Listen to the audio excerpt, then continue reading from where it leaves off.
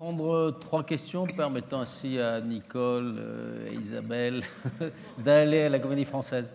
Euh, alors, euh, qui pose la question premier? Je me retourne vers les étudiants. Allez-y, je vous en prie. Première question, je peux en prendre trois à la suite. Levez-vous qu'on vous voit.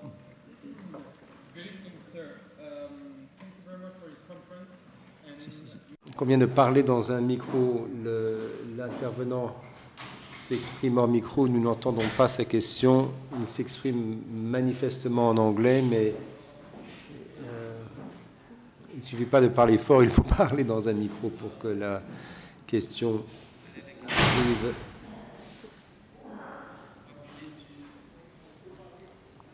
Ah oui.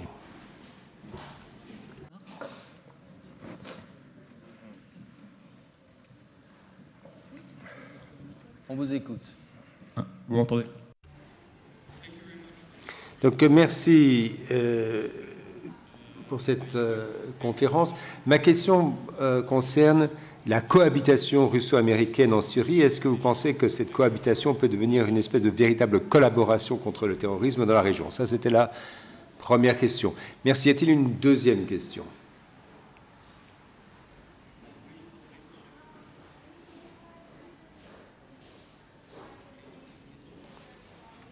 Oui. Euh, je Monsieur, je peux y aller oui, oui. Euh, oui, je voudrais vous poser une question qui est un peu naïve. Il n'est pas allumé Ah bon. Je, voudrais vous poser donc une question un peu naïve. Est-ce que, euh, au cours de votre carrière, soit à l'époque communiste, soit dans la période suivante, vous avez eu à connaître ou été éventuellement associé à des, à des euh, des actions en matière de renseignement. Et c'est une question naïve. Alors, euh, évidemment, et si, et si, et, si oui, et si il vous est possible d'en parler, évidemment, est-ce que vous pourriez euh, nous relater un épisode, un ou deux épisodes, soit, soit amusants, soit pittoresque, soit très sérieux. Merci beaucoup. Je n'ai pas fini. Ah. Je précise. Dernière phrase. Je précise que ma question n'est pas du tout euh, euh, négative, ni négative, ni critique, ni, hostile. elle est curieuse. Elle est curieuse, mm. mais euh, tant les, le, renseignement est un des moyens que les États ont à leur disposition dans l'exercice des relations internationales. Et certainement la Russie ne s'en prive pas. Euh, euh, Monsieur. I'm afraid that you'll have to... oui, je vous en prie. C'est une question tout aussi naïve euh, qui consisterait à demander pourquoi la Russie n'a jamais demandé son adhésion à l'Union européenne. Très bien. Alors, est-ce que du côté des étudiants, il y a une question? Bon, ce sera la prochaine séquence. Alors, je vous en prie, André répondez à ces questions. Vous pouvez les répondre à faire un paquet. Can you decide for the second one? Alors. Alors la première était sur la, sur la Syrie, la déconfliction. La deuxième, c'est euh, au fond une question sur la politique du renseignement de l'URSS et de la Russie. Voilà, si globalement il y a euh, il y a quand même eu, on pense notamment aux séquences sur le cyber, il y a eu du côté américain, il y a pu y avoir aussi du côté européen des reproches qui ont été faits euh, aux Russes sur une politique qui était perçue comme euh, agressive, voilà, comme, politique de renseignement. Vous avez évoqué à un moment dans votre... Vous me permettez que je reformule votre question? Je ne sais pas si on aura toutes les anecdotes. Donc, le... il y aura peut-être l'anecdote, mais bon. et donc, vous avez évoqué un moment justement euh, l'idée que euh, dans les discussions qu'on pouvait avoir en matière euh, stratégique, bah, il y avait aussi d'autres, ou, de, ou de, de, sécurité ou de la paix. le cyber pouvait en faire partie, et notamment un code de bonne conduite entre, entre les, les grandes puissances pour ne pas s'agresser. Alors, je la reformule sur ce point, si vous avez d'autres choses à nous dire. Et c'est effectivement bienvenu. Puis ensuite, il y a cette question, est-ce qu'un jour, une fois, voilà la Russie a pensé adhérer à l'OTAN, à l'Union européenne. Voilà. Hmm. Alors. Well, you know, on, Syria, which is easy. Alors, pour la question euh, syrienne, qui est en fait la plus, la plus simple, euh, l'une des raisons, l'une des motivations principales de euh, la participation de la Russie sur, ce, sur, cette scène, c'était de démontrer au monde occidental, l'Europe et aux États-Unis, que la Russie, plutôt que de faire partie du problème, peut faire partie de la solution. C'était euh, l'idée de dire au monde, écoutez, vous avez échoué euh, en Irak, vous avez échoué en Libye, nous allons euh, vous montrer comment gérer les problèmes et vous feriez mieux de vous ranger à notre côté car nous sommes mieux à même de gérer, de régler les problèmes, problèmes que vous avez peut-être posés. Donc c'était une démarche pédagogique. Il ne s'agissait pas de déloger les États-Unis ou de remplacer les États-Unis, mais de euh, montrer aux États-Unis comment gérer des situations aussi euh, complexes dans des régions aussi difficiles. Et euh, là, ça nous rappelle la négociation Lavrov-Kéré en, en, 2016, à l'automne 2016. Lavrov-Kéré, donc. Vous vous rappellerez qu'à l'issue de ces négociations, la décision avait été prise que, bon, si le, monde occidental ne veut pas travailler avec nous, eh bien nous travaillerons avec nos partenaires ou avec des partenaires euh, régionaux. Ensuite, la, Russie a lancé le processus d'Astana, euh, et donc les Turcs et les Iraniens étaient autour de la table avec les Russes. Et euh, bon, dans le contexte de la crise du Golfe, cette initiative avait toute sa pertinence, et en tout cas, jusqu'à, disons, 2018, euh, il, elle avait un rôle tactique à jouer, mais le problème c'est que dans ce cas, les États-Unis peuvent venir euh, en quelque sorte euh, bloquer les affaires, empêcher les partenaires de négocier. Et, et, de ce fait, les États-Unis, de facto, restent un partenaire indispensable dans la région, y compris en Syrie. Pour autant, si l'on examine euh, le problème sur euh, le long terme. On verra que euh, le rôle américain au Proche-Orient commence à, diminuer, à reculer, compte tenu d'ailleurs, inversement, de l'autosuffisance énergétique des États-Unis qui vont dire voilà, on a essayé, on a dépensé beaucoup d'argent, on a consacré beaucoup d'efforts pour rien, on se retire. Ça, c'est un petit peu la position américaine. Et de l'autre côté, euh, ce qu'on verra, c'est euh, des relations entre les acteurs régionaux avec euh, les puissances adjacentes que sont la Russie et, l'Europe qui gravitent autour de cela. C'est-à-dire qu'on ne peut pas, disons, se mêler entièrement d'une affaire qui est régionale, qui est une affaire en quelque sorte familiale. Alors, je ne m'inquiéterai pas trop du rôle américain, je verrai quand même par contre, peut-être un rôle plus positif à jouer du côté de l'Europe. Ça, c'est la Syrie. Maintenant, pour ce qui est de la place de la Russie dans le monde, ah pardon, les activités, de renseignement, euh, les activités russes d'espionnage dans euh, le monde. Ma propre euh, appréciation sur la question, c'est que le monde du renseignement traverse une crise profonde. pourquoi? Parce que euh, on peut maintenant euh, trouver tous les renseignements que l'on cherche euh, des, dans des sources diverses et, souvent publiques. et là, je ne trouverai, enfin, il n'y a rien qui viendrait des services de renseignement qui, pour moi, serait une révélation qu'on ne trouverait nulle part ailleurs. Euh, on est arrivé au stade où la formation est là, et quoi que nous fassions, quoi que nous disions, euh, où que nous soyons, euh, tout sera su, tout sera connu. tout ce que nous faisons sera connu. Il n'y a plus de secret pour personne. Tôt ou tard, l'information sera là. Donc, notre façon d'aborder le renseignement euh, doit euh, évoluer considérablement. Parce que si on veut vraiment avoir un renseignement efficace, alors à ce moment-là, euh, je dirais que le, renseignement doit véritablement revenir à, la base du renseignement, c'est-à-dire à la, à l'analyse de, l'information. L'information n'est pas, euh, ne, manque pas, elle est même surabondante, elle est pléthorique, mais par contre, ce qui compte, et là, il faut de l'intelligence, c'est le cas de le dire, pour savoir ce qui compte, pour distinguer euh, l'important de l'accessoire. Alors, je ne pense pas qu'à ce jour, devant justement euh, cette pléthore d'informations, on ait résolu ce problème de savoir ce qui compte de ce qui ne compte pas. Et c'est d'ailleurs la raison pour laquelle je préfère rester en dehors du gouvernement.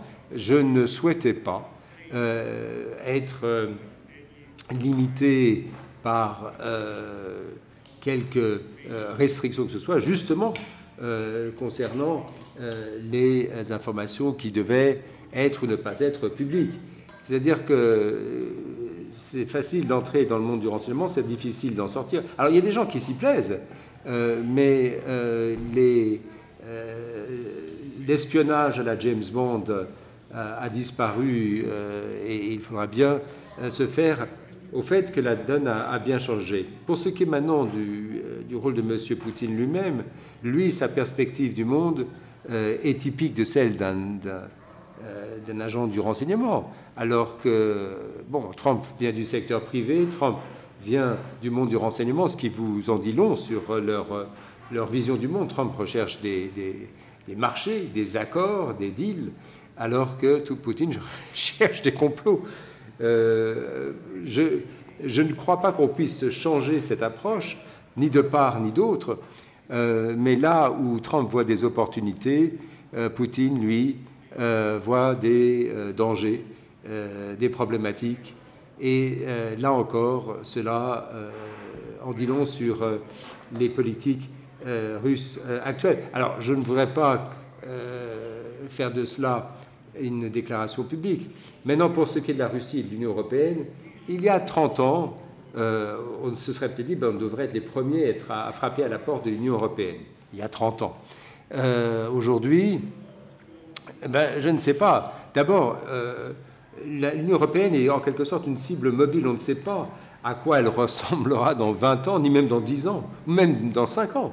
Euh, nous vous euh, souhaitons évidemment bonne chance, mais enfin, on ne peut pas savoir où en serait l'état de l'Union européenne. Et puis, on ne sait pas non plus ce que sera, ce que seront plutôt les frontières entre guillemets naturelles de l'Union européenne, parce que l'élargissement euh, n'est plus, ne figure plus, euh, disons, à l'ordre du jour. Mais ce qu'il convient de faire, c'est de se servir de l'Union européenne comme modèle euh, dans la mesure du possible, parce que si l'on pense à l'état du monde dans quelques années, je me dis que finalement le même modèle dont nous disposons actuellement, le, le meilleur modèle d'intégration multilatérale, c'est quand même l'Union européenne. Il n'y a rien d'autre comparable au monde. Et euh, c'est la raison pour laquelle on parle de l'Union économique eurasienne. Euh, je me suis toujours dit qu'il faudrait quand même euh, s'inspirer d'abord au maximum de l'Union européenne. On laissera conclure nos deux intervenants. Je vous en prie. Bonjour. Vous m'entendez? Oui, oui, on vous entend. déjà, merci beaucoup pour votre, pour votre conférence. C'était très intéressant d'avoir un point de vue russe sur, les, sur ces questions-là. Et euh, ma question à moi se porte sur euh, une partie de, votre, euh, de, votre de, tout ce que vous avez dit. Vous vous concentrez énormément sur la personnalité de Vladimir Poutine pour décrire la politique étrangère russe. Et on voit qu'aujourd'hui, récemment c'est arrivé, on est, la Russie est en train de penser l'après-Poutine. Quelle est votre opinion sur le futur des relations transatlantiques entre la Russie et l'Amérique après Poutine et à quel point aujourd'hui la politique étrangère est-elle euh, influencée par sa personnalité et son point de vue? Ça fait très longtemps qu'il est, euh, qu'il est présent dans les instances gouvernementales en Russie. Et euh, donc j'aurais aimé savoir si, si, si, vous, de votre côté, en Russie, ça fait débat et comment vous pensez l'après-Poutine aujourd'hui? Merci beaucoup. Alors, la dernière question Oui, la dernière question qui est en deux parties. Bref, hein. Oui, très bref.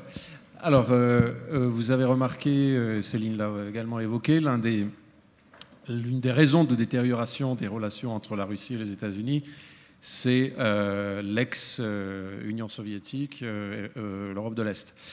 Mike Pompeo a fait un voyage très récemment en Biélorussie, au Kazakhstan et en Ouzbékistan. Ce sont les trois pays qui traditionnellement ne sont pas très pro-américains, pour le moins qu'on puisse dire. Quelle est la raison de ce voyage, d'après vous, et comment ça a été interprété à Moscou?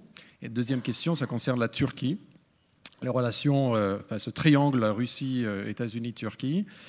On a l'impression que les relations russo-turques sont un facteur des relations turco-américaines. Plus les relations entre la Turquie et les États-Unis se détériorent, plus euh, euh, Erdogan tombe dans les bras de, Poutine. Mais on voit, enfin, moi personnellement, mon sentiment, c'est que c'est une alliance quand même assez fragile et assez limitée. Qu'est-ce que vous en pensez? Voilà. Alors, je vais laisser peut-être Céline dire si elle veut réagir à une de ces questions, et puis je laisserai euh, André continuer. Non? Pas, de volonté de répondre. Non? Bah Alors, très bien. Alors, André, je vous laisse répondre et conclure. Si j'ai une idée, je vous well, you know, first of all, uh, on Putin. Uh... Concernant euh, euh, le processus décisionnel russe, et notamment pour la politique étrangère, ce processus est très centralisé. C'est-à-dire que si vous avez des, décisions euh, clés, elles sont prises par euh, le président et son cercle de conseillers euh, officiels ou officieux. Mais et plus la question est importante, plus la décision sera prise, disons, de manière centrale au plus haut niveau du pouvoir. Alors, cela étant, la, transition vers une, une ère post après Poutine euh, en fait, a déjà euh, débuté sous Poutine lui-même, puisqu'il a euh, amené des changements à la Constitution. Il pense déjà à une forme de, disons, de gouvernement plus, ou de gouvernance plus collégiale à l'avenir. Et c'est la raison pour laquelle il essaye de rétablir une espèce d'équilibre des forces avec de nouvelles instances, en limitant d'ailleurs le nombre de mandats que ses successeurs pourront euh, assumé. Donc on ne cherche pas à faire un, Poutine 2.0. Euh, ça, c'est relativement clair. Maintenant, quant à savoir comment cela influera sur les relations russo-américaines, ça c'est encore assez difficile à savoir parce que les États-Unis, de leur côté, euh, traversent également une période de transition en profondeur. Et en tant que ancien observateur de la politique étrangère américaine, je peux vous dire que le, le tournant ne s'effectuera pas cette année, quoi qu'il en soit, euh, quelle que soit d'ailleurs l'issue des élections américaines. Non, mais l'avenir des relations américano-russes se jouera peut-être euh, autour de 2024, date à laquelle il y aura un changement de génération, d'abord dans les sphères du pouvoir des deux pays, où une pression euh, se fera sentir de la part de facteurs extérieurs, qu'il s'agisse des pressions migratoires, climatiques ou même technologiques, euh, là, la donne sera euh, franchement nouvelle pour, pour les deux pays. pour autant, le rôle des États-Unis et de la Russie restera indispensable et donc les deux pays devront trouver un terrain d'entente qui pourra être très limité comme il est actuellement, ou alors ce terrain pourra s'élargir progressivement et euh, là, d'ailleurs, euh, si les deux parties font peur d'engagement, de, vision qui va au-delà euh, de leurs intérêts immédiats, respectifs, il y aura un élargissement du terrain d'entente s'ils s'intéressent à des problématiques communes, des enjeux communs, mais la relation restera difficile pendant encore bien des années et je ne pense pas qu'il y aura une espèce de remise à zéro euh, pour qu'il y ait une remise à zéro, il faudrait qu'il y ait un changement de régime, soit aux États-Unis, soit en, Russie, et, ni l'un ni l'autre. euh, ne, sont, ne sont probables. Par contre, davantage de coopération, oui, ça c'est possible. Maintenant, pour ce qui est euh, de, des pays voisins que vous avez évoqués, et notamment la Biélorussie, vous avez là des pays qui ont fait l'objet de couverture médiatique euh, russe et Mike Pompeo, a proposé euh, de remplacer la Russie euh, comme fournisseur de pétrole à la Biélorussie. alors, le, grand changement, si vous voulez, parmi les priorités géopolitiques de la, de la Biélorussie, bon, ces changements sont quand même un petit peu exagérés parce que ce que Pompeo voudrait faire, euh, c'est faire de la Biélorussie une deuxième euh, Pologne en, venant euh, subventionner ce, pays. Mais les États-Unis n'ont pas de compagnie pétrolière nationale, et donc euh, ça ne dépendra pas de Mike Pompeo de vendre euh, du pétrole à la Biélorussie, mais de ExxonMobil et, d'autres compagnies pétrolières. Et puis d'autre part, euh, ce pétrole coûtera plus cher que le, pétrole russe, n'importe quel économiste vous le dira, donc il n'y a pas de substitution possible.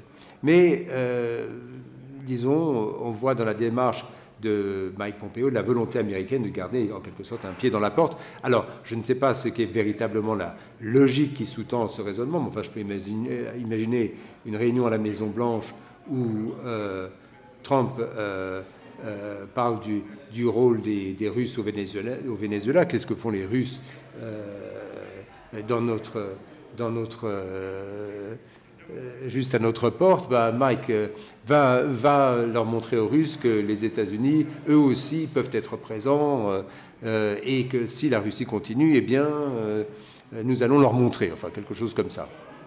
Alors, une question a été posée en micro, la réponse est je ne sais pas si c'est encore le cas, mais toujours est-il que, dans l'approche de Trump, le problème c'est que Trump souhaiterait créer en quelque sorte sa propre sphère d'influence, mais il ne veut pas en assumer le coût. Euh, au contraire, euh, il voudrait que ce soit euh, ces pays partenaires, ceux qui viendraient se joindre à cette ferme d'influence, qui paient en quelque sorte leur cotisation. Et le président biélorusse n'a pas les moyens de le faire. Il me semble que l'une des raisons pour lesquelles aujourd'hui il y a un certain intérêt à Minsk de recevoir Mike Pompeo, c'est euh, les, récents débats en Russie et l'insistance avec laquelle certains dirigeants politiques russes euh, ont mis, remis sur le devant de la scène le traité d'union qui a été signé il y a 20 ans avec la Biélorussie, avec dans l'idée de renforcer l'intégration des deux pays. Et ça a suscité quand même des inquiétudes importantes à Minsk qui peuvent expliquer qu'ils soient euh, comment dire, enclins à se rapprocher de l'Europe, voire à même maintenant euh, à, comment dire, à cultiver les, les, les, États-Unis, alors que jusqu'à présent, la Biélorussie avait toujours euh, pris soin de ne pas dépasser les lignes rouges. Qu'est-ce que vous pensez de, ça? Merci beaucoup pour cet euh, ajout qui, je pense, voilà, permet d'enrichir la perspective. Sur la Turquie, parce qu'autrement, il y a une question auquel il ne sera pas répondu, sur la Turquie Turquie, Sur la Turquie, c'est une relation très, très complexe il y a des intérêts communs, euh, l'énergie, euh, les, euh, les, centrales nucléaires turques ou les, la, les pipelines turcs, la Syrie. bon, vous avez, vous avez des, problématiques communes, vous avez également des désaccords, notamment sur la situation du Caucase, de la Crimée, de la, euh, Libye. Euh, et donc, euh, le, partenariat en Syrie est, très faible, entre la Russie et les États-Unis. Ces patrouilles conjointes à Idlib ne, ne, sont guère prometteuses. Pardon? Et vous savez qu'Erdogan, d'ailleurs, a parlé des Tatars de, Crimée. Le Kremlin a dit que Erdogan peut venir euh, en Crimée pour voir comment les Tatars sont euh, traités euh, en Crimée. Bon, tout ça pour dire qu'il y a des tensions entre la Turquie et la Russie. L'une et l'autre partie ont des raisons de se plaindre de l'autre, aussi bien d'ailleurs en Syrie qu'en Libye. en Syrie, la Russie peut dire qu'Erdogan n'a pas tenu euh, parole, euh, n'a pas tenu sa promesse sur l'accord de septembre sur euh, Idlib, et de son côté, Erdogan peut faire valoir que la Russie soutient les Kurdes plus que de raison et n'exerce pas de pression suffisante. En Libye, c'est un petit peu la même chose, puisque Erdogan estime que les Russes sont trop proches de Haftar et, les Russes s'inquiètent de voir Erdogan déplacer redéployer euh, ses, forces armées justement vers la Libye. Euh, bon, il y a des sources de désaccord, des sources de tension. Malgré cette fragilité, la, Russie et la, Turquie sont, un peu un petit peu euh, coincés dans la même barque. Je, vois mal les choses euh, beaucoup bouger. On ne peut pas en tout cas imaginer un effondrement total des relations parce que cela mettrait non seulement la Turquie dans une situation très difficile, mais cela aurait une incidence euh, très négative sur la position de la Russie de la région. Et on se retrouve la semaine prochaine avec Benoît